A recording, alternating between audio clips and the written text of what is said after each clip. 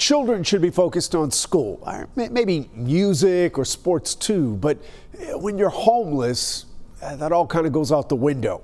So, one Dallas Cowboy is doing his part to help get kids in Dallas the basics a lot of families take for granted. Here's Demond Fernandez in South Dallas Fair Park. Man, I just really wanted to come and just spend some time with the kids here. Some professional athletes are changing the game. Dallas Cowboys defensive end Kerry Hyder and his family visiting the Fannie C. Harris Center. It's a new drop-in center and safe haven for homeless youth and young adults. My mom's my rock, and she uh, we had some struggles growing up. Hyder and his wife Jasmine learned about this center while watching a story on local news.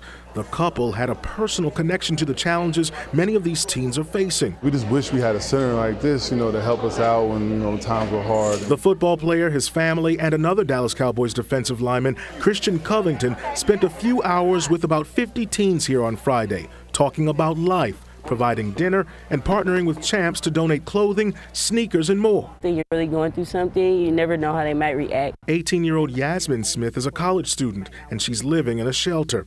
Yasmin says the Hyder's presence here was important. When his wife said that she came here because it didn't matter, she was once poor and homeless, that meant a lot because a lot of people don't know what, it, what it's like to be poor or homeless. Youth homelessness is a big issue in Dallas. Madeline Reedy is a senior director of the TRAC program for CitySquare. Well, I think a lot of times people don't think about youth being homeless.